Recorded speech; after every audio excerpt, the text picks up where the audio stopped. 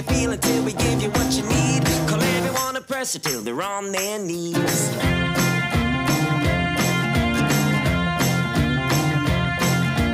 Impeach free speech, better dye your hair pink. TV, phone screen, it's better if you don't think. Debt to universities, segregate diversity. Give yourself a ribbon every time you face adversity. Find another problem, tell yourself you're not alone. Tell everyone is straight that they're wrong. Find your path in life, but make it socio a psycho. Nonsense, wokeness, you're gonna lose your mind though. Bigotry, insanity, an ally or an enemy. There's too much masculinity, so we're goodbye to family. Represent the 1% who want to overthrow. Till everybody lives in an autonomous zone.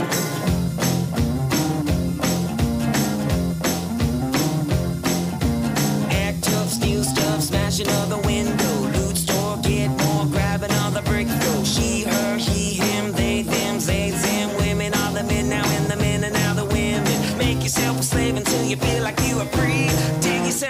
The American dream. That's why they call it an American dream because you have to be asleep in order to believe it. Those are the famous words of, of course, George Carlin. More of a prophet than a comedian, especially looking at our current circumstances. Welcome back, beautiful and amazing human beings. This is Luke here of WeAreChange.org, and we got some absolutely crazy news to get into. As right now, Leave Twitter is trending as it looks like Elon Musk has just acquired Twitter, a major social media platform, which of course there's going to be huge ramifications of. There's still also a lot of other news that we need to get into all around the world. Lots of craziness is unfolding. We're going to be doing our best to try to break it down to you. But before we do, the music video that we played in the beginning of this broadcast is a small clip from a new song by Five Times August. They do incredible work. This latest video is a masterpiece, and of course, we will link it down in the description below so you could watch it in full. It's called the Anti Fascist Blues, and uh, seriously, Five Times August does incredible work, and I'm very happy I found them online since, of course, artists need to be supported more than ever right now, especially in a day and age of digital online purging and book burning that we have been seeing that hopefully might stop with the latest news coming about Elon Musk purchasing Twitter as Bloomberg and the Independent are now reporting that Twitter is going to be accepting that offer and that the official deal could be stricken within just moments of making this video. This is going to be the main focus of this video, but before getting into that, the ideas that Elon Musk is standing up for is freedom, something that of course has not been in abundance here in the United States as of late, especially with the government intervening in a lot of people's lives. And in San Antonio, a pair of disgusting, horrible Karens, bureaucratic Beckys, known to other people as police officers, stopped a 10 and 8 year old entrepreneur from selling eggs from their backyards because they didn't have the right government permits and permission to do so. Yes, in San Antonio, Texas, a pair of children had a cease and desist order given to them by the local government to immediately stop their egg selling operation, which netted them $70 per week. And as local bureaucratic governments here in the United States crack down on, on 10 and 8 year old entrepreneurs, other places like in Africa are becoming a lot more freer as the Central African Republic has just passed a law that will accept Bitcoin as legal tender inside of their country, joining, of course, El Salvador, the Honduras Prospera, allowing their citizens to essentially have control of their bank accounts and their own banks inside of their own pockets. As, of course, former U.S. President Barack Obama has described Bitcoin as giving the people the power to have anonymous Swiss bank accounts inside of their own pockets. And with more and more smaller countries that are still developing adopting Bitcoin, while more repressive governments try to suppress and stop it, I think this is a significant development that is definitely worth covering and talking about. As of course, the world is changing, becoming more digital, and according to my opinion, and as history shows,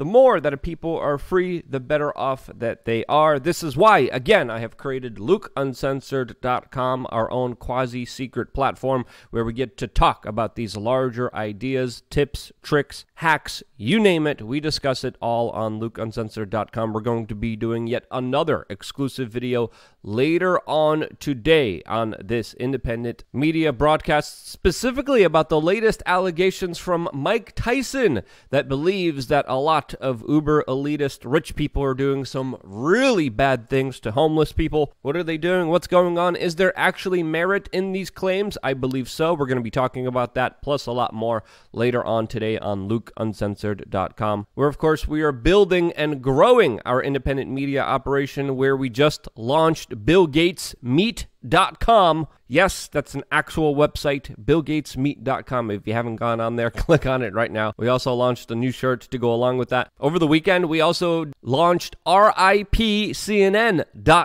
another website that I definitely think you guys should watch as we created a meme video that I originally thought of and had amazing people working at wearechange.org put together. All of this, BillGatesMeet.com, RIPCNN.com is possible because of your support support. And of course, signing up to lukeuncensored.com where you get exclusive videos and tips that are only available to you. Again, if you haven't seen RIPCNN.com, what are you waiting for? Definitely uh, click the video.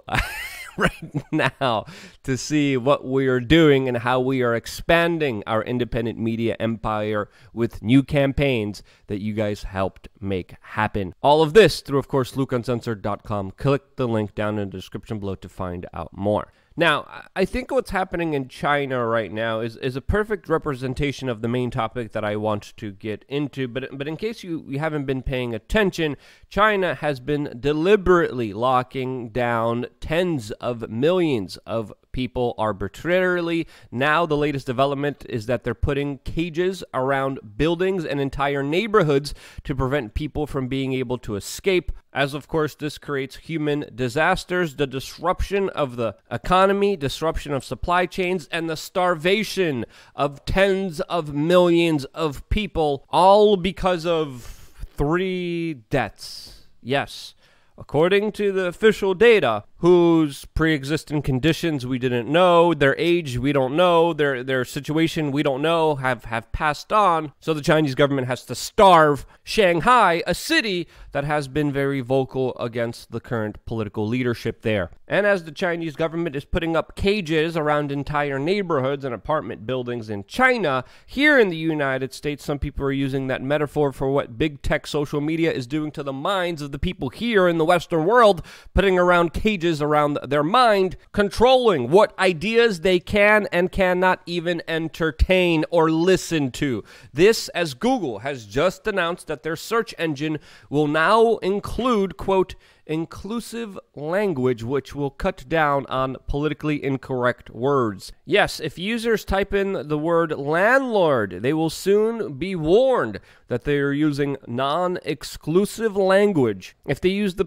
term policeman, you again will be warned that you need to replace this with the word police officer, as of course the big tech social media giant Google, Alphabet, which works very closely with the Pentagon, and of course the military industrial complex, and is becoming one of the biggest powerhouses in the entire world is now going to be policing language in order to make sure you use the words that they want you to use. Another insane overreach of power that, of course, they are abusing. Facebook, of course, is moving with their metaverse plans, trying to get everyone inside of their pods, living a virtual reality that, of course, is tightly controlled like their algorithm, which they have previously used for psychological operations. And when it comes to big tech social media, there, of course, is one other social media platform that, of course, soon might be getting changed very significantly. But before getting into that, it's important to note here that, that we are also under an administration that wants to control thoughts and ideas along with political expression, has openly called for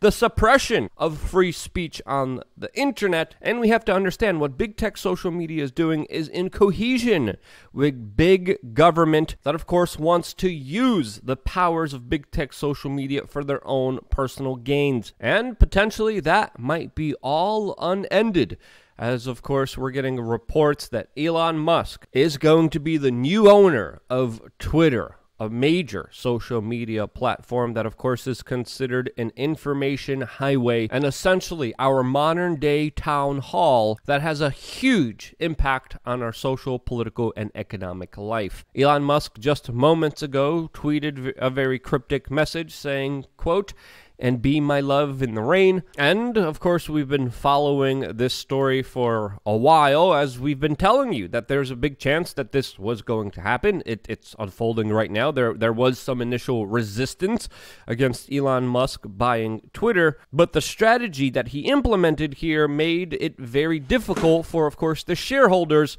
to resist this deal, as it looks like the board of directors was pressured into doing this. And now, according to Reuters, Bloomberg, and the Independent, Twitter will be accepting his offer to buy Twitter for $43 billion.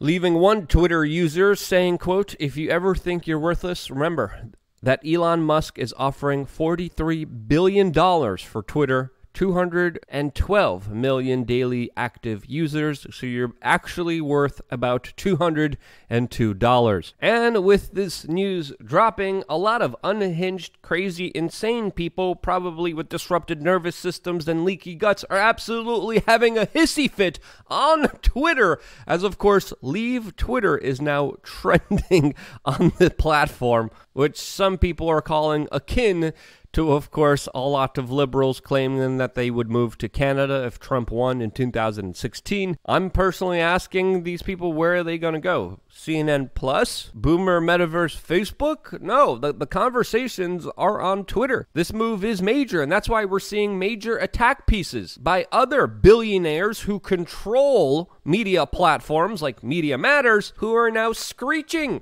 in their low IQ articles talking about the dangers of free speech. Jeff Bezos, who owns the Washington Post, another unaccountable billionaire, set his minions to attack Elon Musk, predominantly at the larger threat of, of him allowing people to, to speak freely. And essentially, the line has been drawn. There's a lot of billionaires, a lot of establishment institutional power saying no. As human beings, can't congregate together, can't talk freely with each other. Our unaccountable billionaires have to control every aspect of that, curating, manipulating the algorithms so you see what we want you to see. While, of course, there's Elon Musk on the other hand saying, hey, no, people should be able to, to freely express and talk to each other as they please, like they do in the real world. Now, that's the promise Elon Musk is making. Will he keep it? Is yet another question that, of course, I think is important to ask here. As, of course, there's questions about his contacts, the people who he was connected with, what he's been up to, and some people who are free speech advocates who are still skeptical here as of course, there's even talks about Twitter needing to verify everyone and their identities on the platform. There's some other people joking about how you're going to need a Neuralink brain chip in order to have free speech privileges in the future. There's been accusations against Elon for not wielding his power in an accountable way, and this man being on the forefront of, of AI, of, of brain chips, of, of satellite internet. And now the major town hall of the Western world, you do kind of have to ask yourself that is a lot of authority. That is a lot of power. And will that power be used wisely? Well, that's that's an important question that I think a lot of people should be asking themselves. But I, I, think we're getting off to a good start, especially with Elon Musk just tweeting moments ago that quote, I hope that even my worst critics remain on Twitter because that is what free speech means. And with statements like that dominating the headlines, with, with, with epithets and ideas out there like this, I think this is absolutely a net positive and an opportunity for something incredible. I, I'm, I'm skeptically optimistic here to be completely transparent and honest for from where I'm coming from. And uh, I think this is going to potentially represent a huge change in shift of the global power structure, especially if people are allowed to openly express and talk about ideas without the fear of censorship. This is something that throughout recorded human history has blossomed and allowed people to prosper.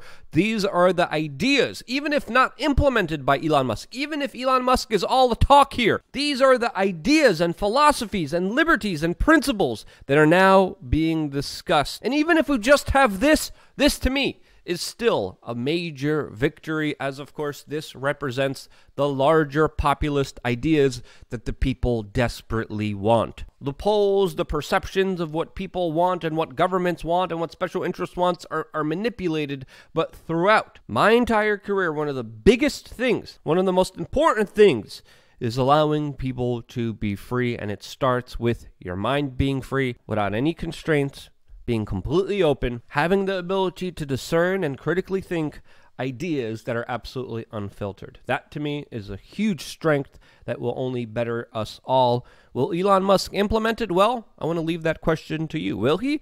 If you think so, write one and say yes. And if you don't think he will, if you think he's all talk and he's not going to do any of the things he's he's talking about and he's going to use this power for his own nefarious purposes, press two and say no. I would love to see the comment section below, as I always do, because it allows for dialogue. And it'll be interesting to see where you guys stand as audience members of this independent media broadcast. Again, I told you my position, and I could be wrong. That's that's again something that we all need to ascertain here as well. We're not always right. We don't always get things correct. And if there's one thing that matters at the end of the day, it's the truth. That's my perspective. That's my opinion. If you thought it was something worthwhile, share it with your friends and family members by sharing this video with them. Just double click the URL. Just pass it on, even to a random person. Because you do that, I'm still able to be here. I'm going to be doing yet another video on lukeuncensored.com. And if you want to watch more on this particular topic, I made a more in depth video just about this, which you could watch right here. I wouldn't be here if it wasn't for you, and this is why I love you guys. Stay tuned for a lot more here on wearechange.org.